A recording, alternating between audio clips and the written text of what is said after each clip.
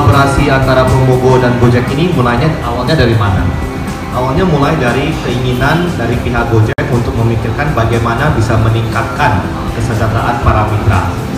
Uh, dengan adanya program kerjasamanya dengan Promogo, maka para mitra bisa menggunakan kendaraan mereka maupun roda 2 atau roda 4 aset mereka untuk menambah uh, kemasukan mereka dan dengan adanya bisa dipasang advertising maupun di dalam mobil maupun di luarnya maupun dari back billboardnya untuk sepeda motor maka mereka bisa bisa mendapat tambahan.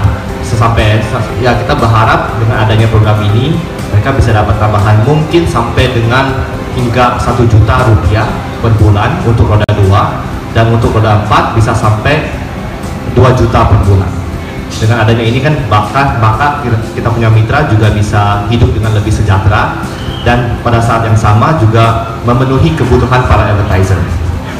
Jadi bentuk kerjasamanya lebih pemasangan iklan ya Pak ya? Atau apa sih sebenarnya bentuk kerjasamanya? Benar, itu adalah pemasangan iklan maupun di dalam kendaraan maupun di luar kendaraan.